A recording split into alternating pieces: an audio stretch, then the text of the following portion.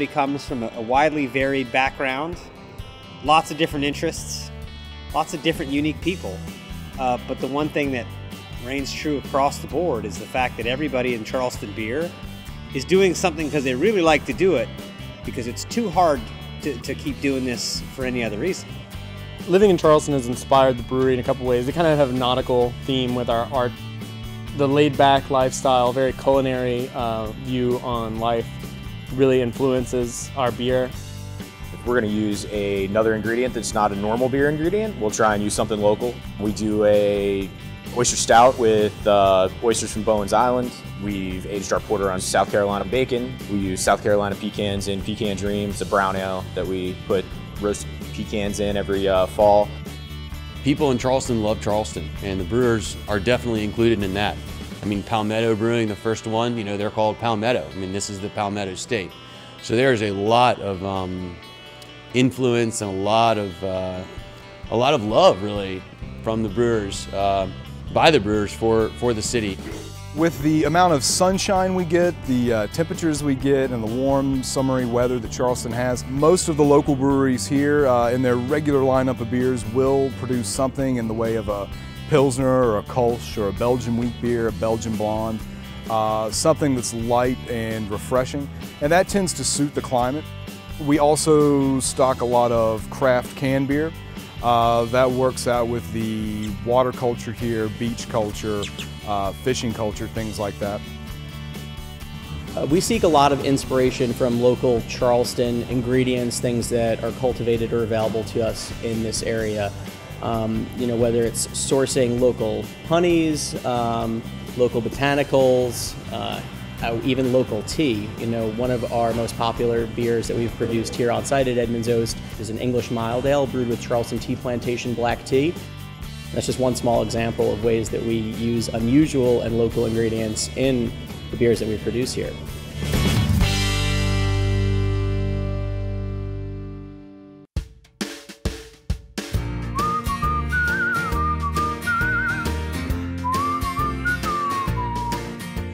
Charleston in general is a different town than uh, any other town in the country.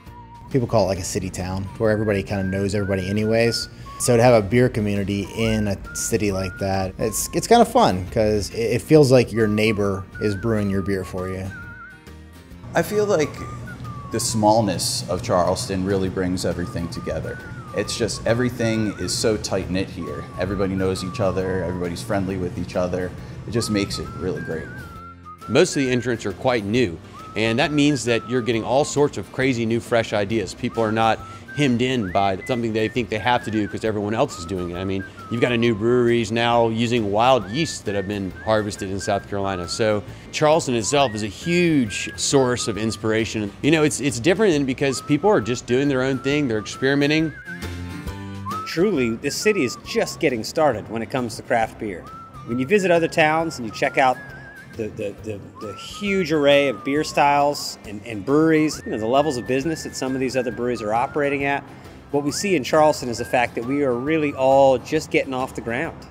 Just a few years ago, there were only two breweries in Charleston, and now we have a whopping eight, which is amazing. You're building friendships, you're building flavors, you're building basically a profile for Charleston. The beach life kind of rubs off on people, you know, it's a little bit more laid back. It's like you always got fresh air, and I think that kind of maybe relaxes people, maybe opens their minds a little bit more. Food has always been a focus of Charleston, and now with micro distilleries and microbreweries or even nano breweries popping up, it's a great complement to the existing food culture.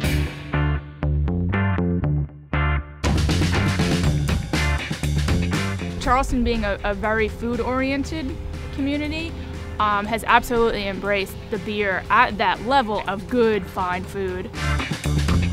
Being a part of the craft beer community for me is seeing restaurants cater better to their customers, uh, seeing beer drinkers demand better beer, better service, local beers. Being a part of the Charleston craft community uh, has been huge for us. We, we feel like we've uh, done really well with the local community and for us that's always been kind of a, a goal from the beginning was to support the local community. The benefits of drinking locally are really uh, staggering. I mean, if you think about keeping money in your local community, spending a dollar here and keeping a dollar here, uh, it means the world to so many small businesses, which drives job growth, uh, job creation, allows people to open new businesses and keep our economy stable and growing. You know, there's always that sense of community. The beers that you get to drink that are made, you know, five, 10 miles, 15 miles away, I mean, that says a lot, especially with the quality that's coming out of Charleston. Always good to support local. I think we are in a very lucky position where most everything that comes out local is pretty damn good.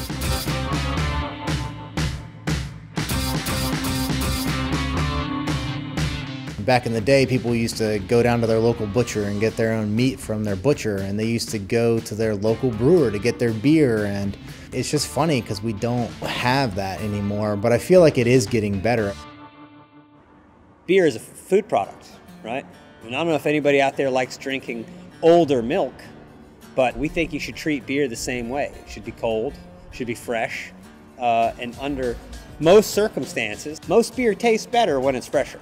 Knowing that your local breweries are all struggling to make enough beer implies that we're selling it fast enough that we can't keep up. And if you pick up a six pack of our beer, it's going to be some of the freshest beer around. If you're buying local, eating local, supporting local farmers, you're getting it right from the source. Um, you know the farmer or the brewer, and you're supporting them and the community, and it just grows.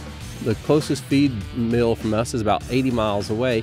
And if we had to go once a week to pick up feed from the feed mills, we'd spend a lot of time going on the road picking up feed. All of this grain goes to a local farmer named Thomas Legree, and he feeds his cows with it. And that's what we do with the spent grain here at uh, Free House.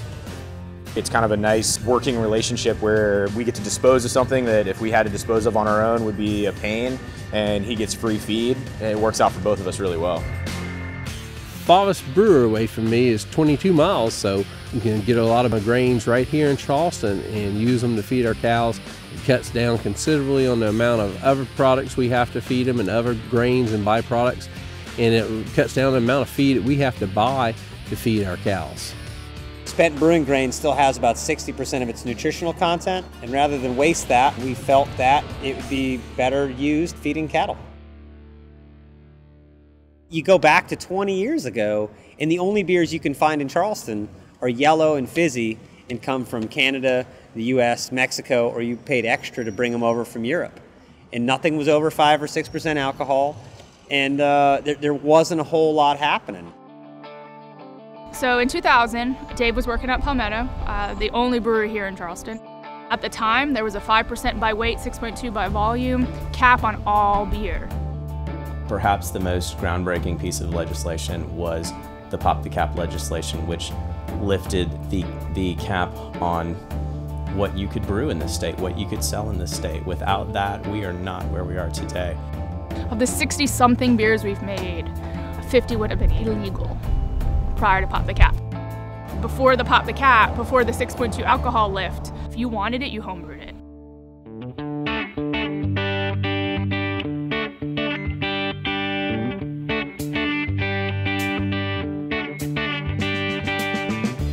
Homebrewing has been great for the Charleston community.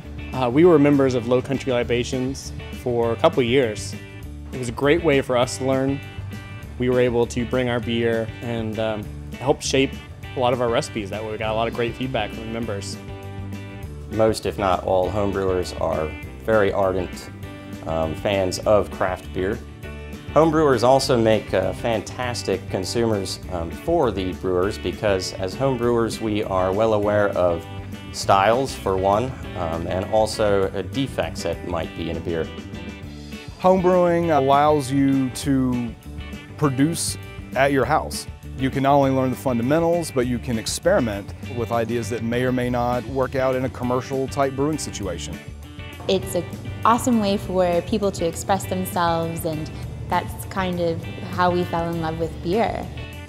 Most, if not all, of the well-known craft brewers that have gone pro and are well-known names got their start in homebrewing. That's where they cut their teeth. So not only do um, most of the brewers start off their careers as simple home brewers, but I think in the future more and more of our home brewers will hopefully make it big time. Most homebrewers I know understand that producing mediocre beer is very difficult. And for brewers here who make excellent beer, I think that cultures up a lot of respect for them and their craft and how good they are at what they do.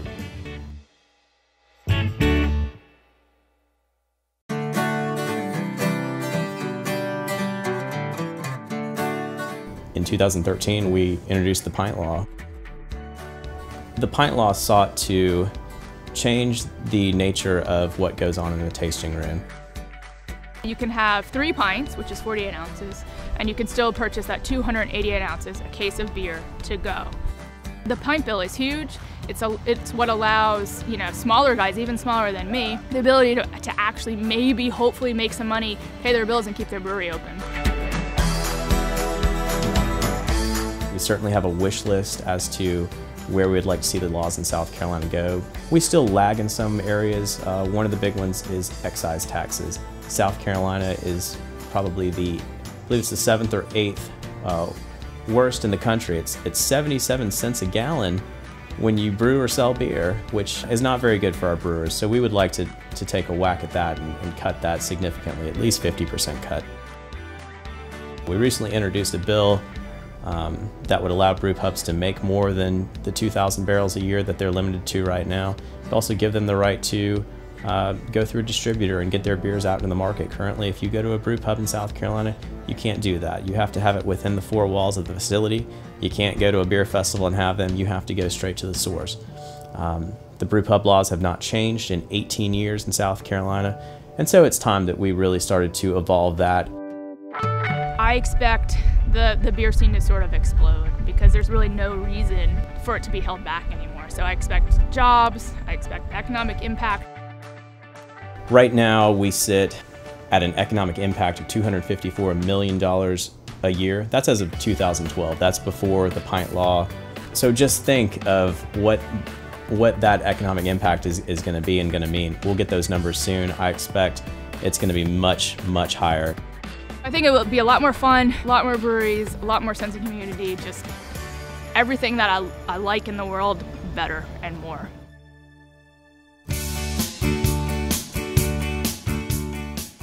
Without craft beer in Charleston, I would be a very sad person. I think um, not only me, but I think other people would find the community kind of lacking. It's like not having any restaurants. I feel like we're, we're all getting a chance to be in a moment in time where we're building something. And it's, it's more than just about profits, and it's about you know, making something tangible. And at the end of the day, when you shrink wrap a pallet of cases of beer by hand, you get to look at that and say, I made that today. Um, it's inherently more exciting than a spreadsheet. Uh, and in the end, other people are going to take it and we get to, you know, enhance other people's lives. We get to share a, a, a headspace with our fans when they're in the midst of some of the finest moments of their lives. And that's a pretty awesome place to be. We were the fifth brewery to open up, and that was a year ago. And since then, two more have opened. Could, in the next five years, we could see as many as 20 breweries. It's hard to say. Now that the new legislature for zoning has passed, it's going to open up a lot of the areas. I think you might see a lot more brew pubs. Look at cities like Asheville that have, you know, 20 breweries in the city, and we've got more people here, and I think we could definitely support more local breweries. You've got these awesome, awesome ambassadors like Scott and Rich and Brandon at Beer Exchange. I mean, just people that do it right, you know, that, that push it the right way. I hope that that mentality and that mindset can carry through with the new breweries, with the new stores opening, and flow through the community so we don't get that sense of jaded mentality that, you know, frankly, we've seen at other cities. And I think if we can stay on the positive, you know, this beer in my glass is damn good uh, mentality, then um, sky's the limit. Palmetto Brewery is a company that's been here for 20 years. We are still just figuring it out. Some of that's been empowered by the changes in laws, and some of that's really been fueled by a, a rapid change in public interest. Five years ago, the demand for local quality beer is not the same as it is now. And I expect that that trend is going to continue. And all of us that are working in this field right now are going to continue to see stress and pressure to keep making more because I don't think we've we're anywhere near a, a, critical mass in terms of number of breweries in the city, and I don't believe that the demand for local beer has come anywhere near the, to its peak. In five years, I hope that every glass of beer I get in Charleston comes through clean draft lines, uh, goes into a proper clean glass. I hope that the education, the work that everyone in the community's done as far as educating consumers has taken hold and we have a bigger community of people who are asking for local.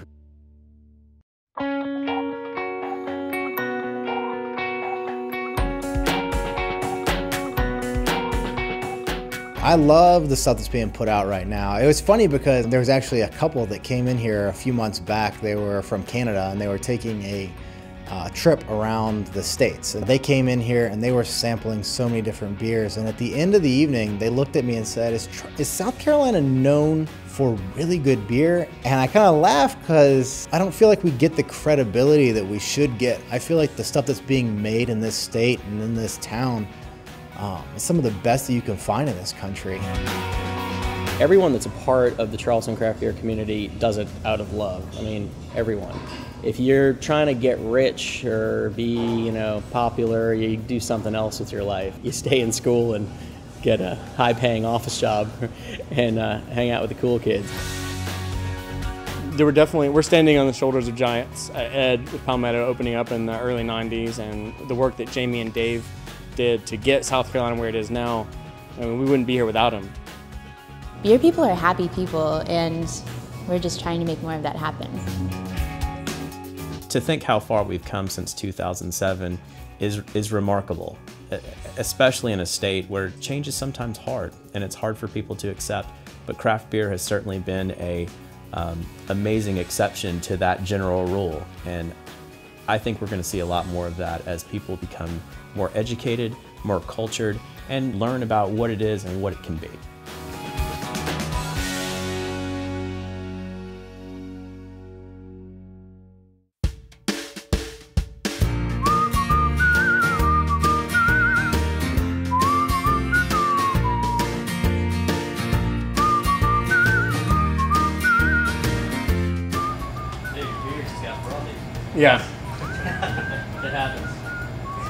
Should I do that for the interview? Just